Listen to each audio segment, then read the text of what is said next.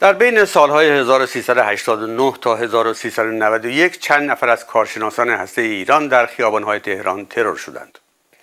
ایران بلافاصله این ترورها را به اسرائیل نسبت داد. مدتی بعد هم وزارت اطلاعات ایران اعلام کرد که عدهای را در ارتباط با این ترورها بازداشت کرده و طبق معمول فیلمی از اعترافات این افراد از تلویزیون ایران پخش شد و یکی از بازداشت شدگان هم اعدام شد. بسیاری هم آنچه دیدند و شنیدند را باور کردند و وزیر اطلاعات وقت هم به امام زمان تبریک گفت و ظاهرا ماجرا به پایان رسید. تا اینکه ماجر ابراهیمی یکی از بازداشتگان که قرار بود اعدام شود سر از خارج از کشور درآورد و در گزارشی از ژیار گل در تلویزیون فارسی بی بی سی اسرار را فاش کرد و معلوم شد تمام این ماجرا ساخته و پرداخته وزارت اطلاعات ایران بوده. چرا ماجر ابراهیمی و افراد دیگر بازداشت شده به جرم ناکرده اعتراف کردند؟ چرا وزارت اطلاعات دست به چنین کاری زد؟ و حالا بعد از برملا شدن این ماجرا چه خواهد شد؟ اینها را در یک گفتگوی اختصاصی با مازیار ابراهیمی در میان گذاشتم. آقای مازیار ابراهیمی خیلی سپاسگزارم از این گفتگوی اختصاصی با خواهش می‌کنم. شما قبل از بازداشتتون چه کار می‌کردید؟ من شرکتی داشتم در سلیمانیه؟ عراق. کار من فروش نصب مشاوره تجهیزات سینمایی تلویزیونی و رادیویی بود. و قبل از اونم فیلم تلویزیون بودم و فیلم بردار زیرا وقت شما قبل بقیه بازار شده ها رو از قبل میشناختید فقط اونایی که من میشناختم برادر خودم بود حسین شوهر خواهرم بود و آقای ارفانیان که همکار خودم بود. بقیه رو نه. دیگه کسی دیگه رو نمیشناختم آره، اول که شما رو بازداشت کردن دقیقا چی می‌خواستن ازتون اول از همش دنبال عملیات میگشتن عملیات تو بگو. عملیات ها ترور دانشمنده هستی. انفجارهایی که انجام دادید. مثل ملارد مثل زرین شهر اصفهان. و بعدم دوباره حالا اینا رو اون چیزایی که دیکته می‌کردم می‌گفتی بعد شروع اومد کشیده شد به خارج از کشور رو بگو نمی‌دونم لبنان رو بگو نمی‌دونم کجا رو بگو. یعنی تمامی نداشت. یعنی وقتی که این سوال رو می‌کرد سوال مشخص بود. یعنی اینکه فرض کن شما اون جاهایی که اینا صحبت می‌کردن در موردش که راجبش بگو جایی بوده که شما رفته بودید یا اینکه یک چیزی از پیش ساخته ای بود که به شما می‌خواستن که شما اینا رو بگید. نه اصلا چیزی نبود که من رفته باشم اونجا. من اصلا این جایی که می‌گفت تا الان هم نمی‌دونم زرین شهر کجاست. یا ملارد من اصلا اون روز ده تا شاهد دارم که من تو آجودانی تهران بودم. فکر کردیم زلزله اومده تو دفتر یکی از دوستان اومدیم تو کوچه. و بقیه اون اتفاقایی هم که برای به اصطلاح اون آقایون دانشمندان هسته ای افتاده من اصلا یعنی فقط تو خبر شنیدم. مثلا نمی‌دونم اون موقع ایران بودم یا نه که بعد پدر مادر من تحقیق کردن اصلا تو اون تاریخ من ایران نبودم. حالا چه برسه تو اون محل بوده باشم یا نزدیک اون محل بوده باشم. اصلا این موضوع نبود. از قبل همه چی تعیین شده بود. اون وقت چه کار کردم به شما که شما حاضر شدید بگید اعتراف بکنید به گناه ناکرده؟ قصد کش شکنجه می‌کنه یعنی هیچ جایی نفس کشید چی کار می‌کرده ببینید تو اوین بیشترین کاری که انجام می‌دادن با کاب کف پا بود. و این کابل کف پا من هیچ چیزی من شکر بهم خورده آویزونم کردم به قول خودشون چی میگن؟ بخچه قپونی. یعنی هر جوری بگید هر بلایی بگید سر من آوردن تمام تنمو با کابل زدن ولی هیچی مثل اون کف پا نیست. اون کف پا واقعا وحشتناکه. و حالا حساب کنید با دهتای اول من پام شکسته که ظرف هفت ماه تقریبا هفت نزدیک شاید 700 ضربه بیش از 600 ضربه دیگه رو اون پای شکسته خورده. فقط فقط همین کف پا رو دارم میگم بقیه چیزا بماند و علت این که مدام شما رو اینقدر می‌زدن این بود که شما حاضر نبودید اون چیزی که می‌خوان بگی اولش که اصلا واقعا چی می‌خواستم بگم؟ هیچ چیزی نمی‌تونستم بگم. خب من این کارا رو نکرده بودم. متوجه نمی‌شدم که باید بگی. این حرفا نیست. باید بگی. اون چیزی که ما می‌خوایم باید بگی. حتی به جای رسیدم گفتم باش هرچی می‌خواین خودتون بنویسید خب من که نمی‌دونم چه اتفاقی افتاده. هرچی می‌خواین خودتون بنویسید من امضا می‌کنم. نه خودتون خودت باید بنویسید خودم باید بنویسم که خب من نمی‌دونم این آدما کی بودن کشته شدن نمی‌دونم کجا بوده. همه رو بهم گفتن. همه رو دیکته کردن. تاریخاش محلش چه اتفاقی افتاده. همه رو دیکته کردن. قاعدتا اون کسانی که شما رو شکنجه می‌کردن بایستی می‌دونستن که شما بیگناهید و فقط باید از شما اقرار بگیرن. ببینید انگار اینا هم دو دسته بودن. یه دسته یعنی این چیزی چون من با چش بسته بودم صورت آدم ها رو نمی‌تونم ببینم که ریاکشنشون چجوری ولی از لحن صحبتشون پیدا بود. یه سری از این آدما باور دارن شما این کار کردید. یه سری دیگه آدما نه. دارن به اطلاعات میدن دیکته می‌کنن. انگار برای یه جای دیگه است. یه چیزایی بهت میگن که جای دیگه تکرار کنی برای یه جای دیگه بنویسی. ولی یه سریشون واقعا یعنی فکر میگم خدای اینا چه اتفاقی تو مغز اینا افتاده؟ با این باور داره با من صحبت می‌کنه که مثلا ما می‌دونیم تو این کار کردی و چیزایی که میگه و همش هم اشتباهs مثلا من میگه دو سال داریم موبایل تو رو شروع می‌کنه خب من اصلا یه چه مدت 14 ماه اصلا ایران نبودم. چجوری تو این دو سال 14 شو من ایران نبودم 14 ماه چجوری شنود کردی؟ چی شنود کردیم بعد مثلا اطلاعاتی که در مورد مکالمه های تلفنی به من میده همه مربوط به بعد از فروردین 91 که من به ایران برگشتم. برای طلبم از صدا سیما. چیزی قبل از اون به من نمیگه. چون چیزی قبل از اون نداره. چه مدت بعد از اینکه شما رو بازداشت کردن شروع به شکنجه کردن؟ منو صبح چهارشنبه 23 24 به خرداد بازداشت کردم. خود چهارشنبه رو کارم نداشتم پنجشنبه شروع کرد شروع کرد 25 خورده آیا اون زمانی که شما زیر شکنجه بودید می‌دونستید که کسان دیگه ای هم در همین رابطه بازداشت شدند؟ خودشون هی می‌گفتن هی عکس می آوردن مثلا به میگو کسی بدت نمیاد ما بیاریم اینجا اسم به ما بده تلفن به ما بده. بعد آرش خردکیش آوردن با من مواجهه دادن. بعد بهزاد عبدالی رو آوردن. و یه بارم که منو گفتن چشمند رو برده چشم رو نکن. صدای یه خانومی اومد که گفت این خودشه. اینجوری متوجه شدم کسای دیگه هم هستن. ولی مطمئن نبودم اینا زندانی هم همش فکر از خودشونم. یکی از خودشون میاره می‌ذارن اونجا جلوی من به اسم مواجهه. خب این مواجهه ها با چشم باز بود یا چشم بسته؟ آرش خردکیش و بهزاد عبدالی رو چشمندمو برداشتم دیدم. بهزاد عبدالی رو تخت بسته بودن داشتن می‌زدن هم آوردنش. آرش نه توی یکی از اتاقای بازجویی آوردن. ولی اون خانم من ندیدم. توی یکی از اتاقای بازجویی گفتن چشمند تو برده ولی چش در نداری باز کنی با چش بسته اون خانم گویا باید منو می‌دید و چیزی می‌گفت تشخیص میدم حالا از شما فیلمی تهیه کردن که تو این فیلم که از تلویزیون دولتی ایران پخش شد بله. و شما در اونجا اعتراف به همه چیز می‌کنید نه فقط شما بقیه که گرفته بودن بله. تو اون فیلم اعتراف کنن توی اون فیلم وقتی آدم نگاه می‌کنه به نظر نمی‌رسه که شما نگرانید به نظر نمی‌رسه که شما مثلا می‌دونید دارین چیکار می‌کنید یا چه عقوبتی می‌تونه پیش روی شما باشه بعد از این اعترافات. چجوری شو این اعترافات رو از شما گرفتن؟ ببین من هر موقع به اون روز فکر می‌کنم من آوردن سرمو تراشیدن و اون آقا اومد بازجو به یکی دیگه می‌گفت مثل روز اولش کن خوشگلش کن. سر صورتمو تراشیدن اصلاح کردم مثل همیشه که خودم این کارو می‌کنم. بعد پاهام خیلی برنداش خونی بود. شکستگی هم که داشت دستم شکسته بود. اگه تو فیلم رو ببینیم مثلا این دستم تکون نمیدم. دندم واقعا نمیدم که شکست اون موقع بود یا نه. حال اصلا طبیعی نداشتم. دو نفر زیر بغلم گرفتن آوردن اونجا. و حتی رو میمی که بادی لنگویج من اینا کار کردن. چون همشون اون سمت راست من نشسته بودن و هی نگران داشتن. وایسا اینجوری نگو با انرژی بگو با خنده بگو.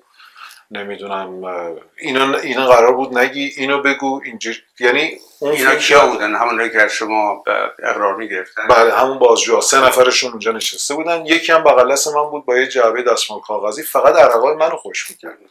یعنی شما تو اون نمای کلوزاپ اگه دقت کنید تمام بغل سر من دونه های عرق معلومه. با اینکه در لحظه به لحظه اینو خوش می‌کرد. ولی کاملا معلومه دور سر من وقتی این اعترافات رو جدا جدا گرفتن ازتون یا همه با هم یک جا جمع کردن و ازتون اعتراف گرفتن؟ من کسی ندیدم چون تا توی اون اتاق با چشمن بردن ما رو. البته تو خود اوین بود اون روز. از جلوی دیویسونو سوار یه ماشین کردن یه مقدار رفت که من بعدا به خاطر این راه ها رو برای اتاق ملاقات بردن و 240 اینا یاد گرفتم. دیگه چشم بسته می‌دونستم کدوم وری داریم میریم. می‌دونم بین 209 ساختمان 209 و 240 بود. و انگار یه مدرسه مانندی بود. چون جایی که اون آقایون بازجویان نشسته بودن یه مقدار مثل یه چیزی مثل تخت سیاه داشت و یه سکوی جلو تخت سیاه دیدید بالاتر اونجوری بود. حالا نمی‌دونم مرکز آموزش این بوده کلاس های درس برای زندانیا بوده چی بوده نمی‌دونم. و منو اونجا ولی می‌دونم یکی دیگه هم بیرون نشسته بود. چون منو بردن اونجا دمه در نگرم داشتن. یکی از زیر چشمم میدم بغل من با همون پاچه شلواری که من شلواره لباس آبی روشن داشتیم ما زندانیا همونجوری اونجا بود. ولی کسی رو ندیدم بدون چشمند چون وقتی بردنم تو اتاق که چشمند رو برداشتم فقط خودشون بودن. دو تا فیلم بر... یا دو تا آدم بودن اسم مثل فیلم بردار با دوربیناشون روبروی من. و نور و اینا هم گذاشته بودن و شما توی این مراجعاتتون به قاضی فکر کنم قاضی آقای ابوالقاسم صلواتی بود دیگه که با شما پرونده شما دستش بود درسته؟ وقتی ما رو از این خارج کردن تو اون جایی که بهش می‌گفتن سی ساعت چهار ماه اونجا بودیم که اونجا قشنگ اصطلاح پوستمون رو کندن. اونجا یه آقای میومد با می‌گفت من قاضی شما هم یه بار اونجا آمد بعد دوباره ما رو برگردوندن بعد از چهار ماه به اوین. دوباره یه بار دیگه هم اونجا دیدیمش که اون قاضی ما. می‌گفت من قاضی شما با همون بازپرس قوه قضاییه آقای مصطفی مصطفی پور دوباره اومدن با مسئولای زندان میمدن دم سلولا و که همینجا چالت می‌کنم. خیلی آدم بد برخورد و بیادبی بود. ولی آقای سلواتی و من دقیقا روز اول ماه رمزون سال 92 دیدمش. تا اونجا که یادمه یه روز چهارشنبه بود. که بعد از بعد از وقتی داری باز با چشمن ما رو بردن دادگاه انقلاب چند نفر بودیم. دفعه دوم تقریبا دو هفته بعدش یه جلسه مثل محاکمه برگزار کردن یه دوربین هم آوردن. 20 نفری تقریبا تو اتاق مثل اتاق دادگاه بود کلی صندلی و اون میز قاضی و دادستان چیز خوند کیفرخواست. خوند. که کیفرخواست خیلی جالب بود. محاربه فساد فلعرز قتل زنا جاسوسی که من گفتم چیز دیگه مونده به این اضافه کنید. یعنی هیچ چی دیگه نبود تو این نباشه. و اونجا دیگه قاضی سلواتی بود از اون بله ولی اون روز قاضی سلواتی نمی‌دونم حالا چون جلسه مثل دادگاه بود معدب بود. یعنی هیچ توهینی نکرد هیچ. در بقیه موارد اون جلسه قبلش که نه. ایشون فقط منو کچل خطاب می‌کرد و می‌گفت این حکم اعدامته. یه هفته بهت وقت میدم همکاری کنی با آقای. دیگه به غیر از اون دیگه بعد از اون نیدم آقای سلواتی حالا از این روندی که شما طی کردید شما فکر می‌کنید که قاضی در واقع حالا با اون تهدیدهایی که شما کرده قبل از اینکه محاکمه انجام بشه در واقع مطیع وزارت اطلاعات بود؟ قطعا همینطوره.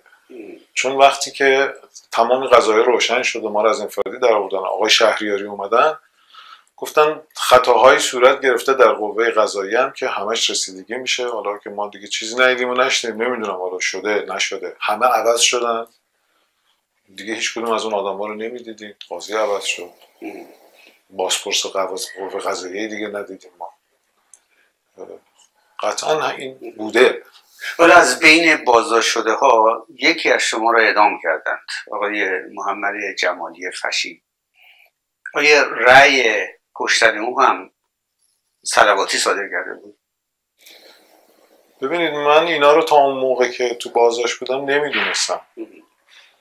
و ایشون گویا قبل از ما اعلام شده که اعدام شدن. یعنی فکر می‌کنم ما خورداد بازداشت شدیم. یعنی من خورداد بازداشت شدم چون آدم های زودتر از من بازداشت شدن آدم های دیرتر از من. فکر می‌کنم ایشونو بله با رأی دادگاه انقلاب حکم اعدام دادن براشون. ولی با اون چیزهایی که اونجا شنیدم من فکر نمی‌کنم واقعیت داشته فکر نمی‌کنم. یعنی شما فکر می‌کنین آقای جمالی محمد جمالی خشی هم یه آدم بی خبر از ماجرایی مثل شما بود؟ اینو که مطمئنم که اون چیزی که پخش شده واقعیت ماجرا نیست. حالا آقای فشی با خبر بوده از خود آقایون بوده یا نبوده یا یه آدم بدبخت بیچاره مثل ما صدق خورده نفر بوده اینش من نمی‌دونم ولی من اصلا اون داستان باور نمی کنم که اون چیزی که اعلام شده واقعیت داشته باشه. فکر می‌کنید اگر پرونده شما به دست اطلاعات سپاه نیفتاده بود شما را اعدام می‌کردن؟ قطعا. چرا پرونده شما به دست اطلاعات سپاه افتاد؟ البته من اینو تو پرانتز بگم من فکر می‌کنم فقط اطلاعات سپاه باعث نجات ما نشد. چون ما مدام تحت شکنجم بودیم که اسم فرزندان مقامات رو مثل آقای هاشمی رفسنجانی بگیم پسرش با ما اومده اسرائیل دوره دیده دخترش با ما بوده آقای امامی کاشانی از بیت رهبری دختر رهبر.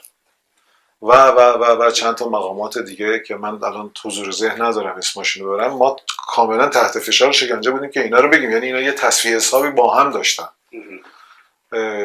و اون قضیه ملارد سپاه که اصرار داشتن به ما دیکته کنن که ما ما رفتیم اونجا رو منفجر کردیم. اون در واقع پایگاه نظامی سپاه بود که منفجر شد بله. و همه ما رو به, به نوعی حالا همه نمی‌دونم چند نفر ما تیمی بودیم که رفتیم اونجا رو منفجر کردیم.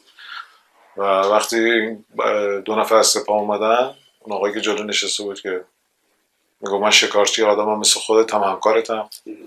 اون آقایی که عقب نشسته بود خیلی معدب و معقول بود. و دنبال واقعیت میکش سوال می‌کرد که کجا بودی؟ گفتم پشت فنسا بودم. چجوری رفتی؟ با ماشین رفتم. ماشین تو کجا گذاشتی؟ گفتم بیرون دم در دژبانی. چجوری رفتی؟ تو هماهنگ شده بود.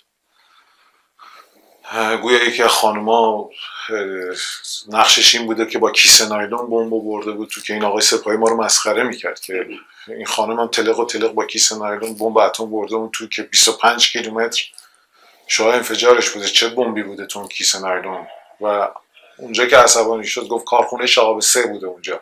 177 نفر مردن. یه آجر سالم نمونده. جسد اینا حتی درست حسابی پیدا نشده. بعد تو پشت فنسا بودی گوشت هم درد نگرفته. و خیلی جالبه بعدا آرش خردکش برای من تعریف میگه که نقشی که به اون دادن تو بوده اون لحظه انفجار که گویا اون آقای سپاهی یه بهش نشون میده میگه اینجایی که تو داری به من میگی اینجاست. اینجا چیزی می‌بینی سالم باشه. تو اینجا وایساده بودی. و قطعا از مجموع حرفای ما به این نتیجه رسیده که همه چی فیکه. شما فکر می‌کنید چرا شما رو برای این سناریو انتخاب کرده بودن؟ شما هیچ مرابطاتی با سپاه یا با وزارت اطلاعات یا جایی قبلا داشتید؟ نه هیچ وقت. چرا فکر می‌کنید شما رو انتخاب کردن برای این کار؟ من به خاطر اون قراردادی که با صدا و سیما داشتم این اتفاق برام افتاد. رقیبای کاری من و اون باندای مافیایی توی صدا و سیما که طبق اون نامه‌ای که انداخته بودن تو صندوق حراست که من خودم رفتم حراست مرکزی به نامرم نشون دادن و می‌دونم کی انداخته بود و گفت فیلمش هم اینجا داریم که اون آقا این کارو کرده. یک نامه انداخته تو صندوق حراست صدا و سیما. مازیار ابراهیمی. از شما شکایت کرده تو نه شکایت نکرده. چی گفته مثل گزارش مردمی آقای مازیار ابراهیمی صاحب شرکت اهورا در سلیمانی عراق بهایی. شرکتش اونجا محل تبادل اطلاعات و رفت آمد جاسوسای اسرائیل. خودش برای اسرائیل کار می‌کنه و از این از این جور حرفا. نامرم به من نشون داد. بخواد اون آقا به من گفت آقای بیاتی تو حراست مرکزی صدا و سیما به من گفت نگران نباش آقای ابراهیمی. دادیم اطلاعات یه تحقیقی می‌کنن تموم میشه. چون جلوی پرداخت من گرفته بودم من همین الانش هم یک میلیون یورو از صدا سیما طلب کارم. و اون شخصی که شما میگین می‌شناسین کیه؟ اون چه ارتباطی با به جز همکاراتون در صدا سیما بود یا اینکه ارتباطی با جای دیگه داشت؟ این آدم و برادرش برادرش مدیر فنی پرستیوی بود. قرارداد ما با پرستیوی بود. اینا قبلا با قیمت های کلون چیز میفروختن وسایل میفروختن به تلویزیون از طریق شرکت هایی که خودشون ارتباط داشتن و رانتایی که درست می‌کردن. ولی ما اون مناقصه رو که بردیم بدون هیچ رانتی و خیلی قیمت خوب اینا اصلا دوست نداشتن. فقط می‌خواستن یه جوری ما را از این شما رو بزنم اصلا یه کاری کردن که ما از این صفحه روزگار محو بشیم. دقیقا این کارو کردن. و مطمئنا اینا می‌دونستن. اینا قطعا با اطلاعات یه ارت... یه فامیلشون خودشون هر کی بوده می‌دونستن همچین پرونده ای هست که میان این کارو می‌کنن و انگار داشت قشنگ یکی هول بدی تو اون چاله ای که می‌خوای بیفته. کی به شما گفتن که دیگه شما آزادید و بیگناهید؟ اون دفعه دومی که اون آقای سپاهی اومد برای بازجویی بعد از دفعه اول که گفتیم ما من گفتم شکنجه اون می‌کنه. اینا قطعا تو چند روزم با بقیه صحبت کرد. دفعه دوم اومد گفت بیگناهید و سوال که گفت بیگناهی؟ گفتم بله. گفت بیگناهید و آزاد میشید. همتون. این کلمه رو گفت همتون.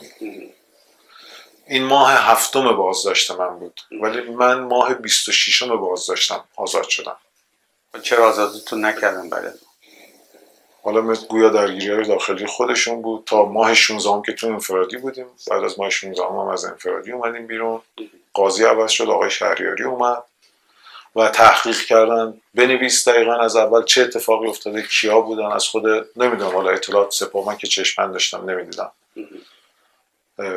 می اومدن حتی آلبوم عکس ها کی کی گفت در مورد بیت رهبری حرف بزنی کی گفت در مورد آقای هاشمی حرف بزنی کی اینو گفت؟ کی اونو گفت؟ من نمی‌دونم. از صدا می‌تونی تشخیص بدی؟ بله. ولی بعد هیچ اتفاقی نیفتاد که کسی بیارن ما صداشو تشخیص بده. اون وقت از شما معذرت خواهی هم کردن معذرت خواهی؟ نه یه جورایی نمی‌دونم یه حالت تمسخری بود بیشتر. حالا یه اتفاقی افتاده چند تا از همکارای ما یه خطایی کردن. که بعد ما باز من بیرون پیگیری می‌کردم گفتم برو خدا رو شکر کن زنده دیگه چی می‌خوای؟ معذرت خواهی آنچنانی نه. ولی قرامت دادم به شما. قرامت رو به خاطر حالا نمی‌دونم چی بود که اصرار داشتم ولی این قرامتی بود که من من شکایت کردم از وزارت اطلاعات. مدارک شما رو دارم. درخواست 500 میلیارد تومن قرامت کردم.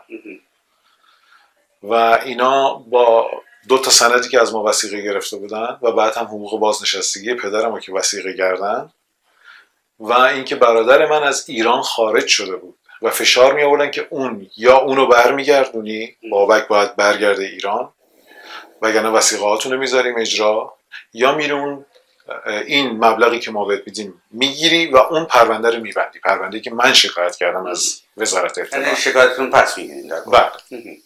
یعنی ببینید من شاکیم ولی من وسیقه دارم. وسیقه برای چی بود دقیقا؟ شما که آزاد بودید و بیگناهیتون هم ثابت شده بود. وسیقه برای این بود که خارج از ایران نریم و اگر رفتیم جای صحبتی نکنیم صحبت نکنید راجع به چرا صحبت می‌کنین الان؟ اینجا بود. جمع شده بود. هفت سال قبل. واقعا دیگه نمی‌تونستم تحمل کنم. چون هنوزم دارم عواقبش می‌بینم. این چیزی نبود که راحت بیاد تو زندگی من و خانوادم قطعا بقیه اون 170 آدم دیگه هم همینن. هر کدوم یه خانواده ای دارن. هیچ کدوم از اینا این مثل یه سونومی اومد از رو زندگی ما رد شد ولی عواقبش مونده هنوز. خرابیاش مونده برای ما. یعنی چیزی نبود که برادرتون و خانمش هم بازداشت در سوریه بازداشتشون کرده بله. خانم برادرم اهل سوریه است. اونا اونجا زندگی می‌کردن. آبستن بود دو ماه تو سوریه بازداشتش کردن. بابک و یه ماه سوریه بعد یه ماه می‌برن زندان حزب الله لبنان. دوباره برش میگردونن سوریه و از اونجا انتقالش میدن ایران. پدر خانم بابک هم حتی تو سوریه بازداشت می‌کنن. یه ماه تو دفتر کارش بازداشتش می‌کنن. و شوهر خواهر ما تو ایران 13 ماه بازداشت کردن. بابک کلا 17 ماه شد بازداشتیش. و بچهش به دنیا آمد ندید. نبود اونجا. تو زندان بود. یا از وقتی که آزاد شدیم و به خارج اومدیم هیچ تماسی گرفته شد از طرف اطلاعات یا سپاه یا جای دیگه؟ نخیر بعد از اینکه این فیلم نمایش داده شد در بی بی سی فارسی بعد از اون هیچ تماسی به شما گرفته شده؟ تا این لحظه که در قیمت شما نه. هیچ تماسی حالا شما فکر کنید چرا با توجه به اینکه به شما گفته بودن که حرف نزنید و با علم به اینکه اگر به خارج برید ممکنه حرف بزنید و اسرار رو برمرار بکنید شما را اجازه دادن که خارج بشید. ببینید ممنوع خروجی من از سال 95 برداشته شده. من یه بار رفتم و برگشتم. یعنی 11 ماه بازداشت بودم. 17 دی ماه 17 اسفند ماه یعنی شب عید من برگشتم ایران دوباره. و دنبال پرونده های شکایت هم بودم. شکایت هم از صدا سیما به خاطر پخش اون تصاویر که بدون اجازه دادگاهه. تمام مدارکش هم گذاشتم تو توییترم و اینستاگرامم.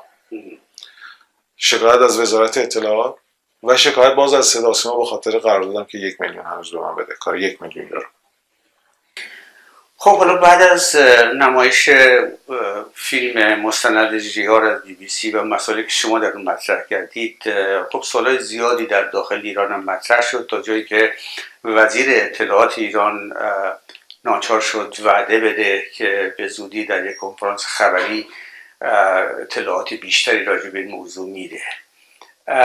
شما فکر می‌کنید وزیر اطلاعات چی میگه؟ فقط امیدوارم نیاد دوباره دروغ بگه به مردم. چون اون جریان که کلا دروغ بود. شما چی می‌خواین که بگه؟ امیدوارم بیاد معذرت خواهی کنه. همه. نه فقط من. چون به یه ملت دروغ گفتن. به دنیا دروغ گفتن. بعد دل به اصطلاح خانواده شهدای رو که خودشون میگن ما خیلی برای اونا, اونا برای ما خیلی مهمن می‌خواستن به دست بیارن دل اینا رو یه دروغ عظیمی به اینا گفتن که ما قاتل شوهرای شما فرزندای شما رو گرفتیم. ولی هیچ کدوم از این اتفاقا نیفتاده. و همش دروغ بود. حالا فکر می‌کنین که به حال این صحبت هایی که شما کردید که همونطور که گفتم انعکاس بسیار وسیع در همه جا داشته و خصوص در داخل ایران فکر می‌کنید چه تاثیر احیانا مثبتی می‌تونه داشته باشه بر جامعه ایران؟ من در درجه اول امیدوارم که مردم ایران یه خورده یه تجدید نظری تو باوراشون بکنن. یعنی با یه بدبختی مثل من که این رفتاری که کردن من دوستای خیلی خوبم داشتم اینو اول بگم. ولی آدمایی که تلفن می‌زنی بهش تلفن رو قطع می‌کنن تو رو نمی‌شناسیم سرسنگینن باید پشت می‌کنن به به خودت و خانوادت این آدما یه خورده به خودشون بیان. اینو امیدوارم. چون نمی‌تونم بگم امیدوارم دولت دیگه این کارا رو نکنه.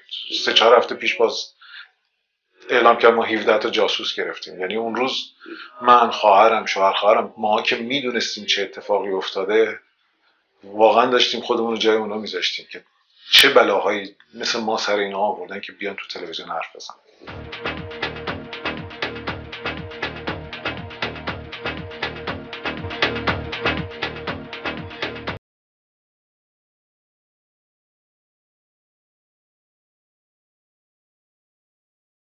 من تعجب می‌کنم ایشان صحبت از اربابان من کردن و منظورشون در موقع ادای این کلمه اربابان امریکایی بود.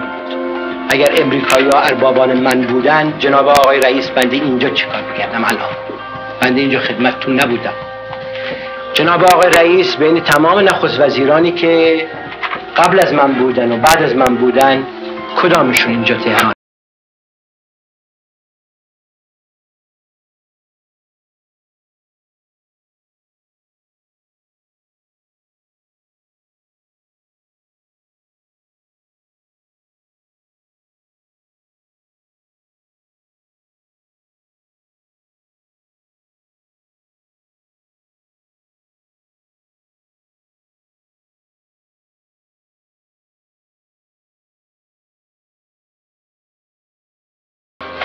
و متکی به خدا هستم.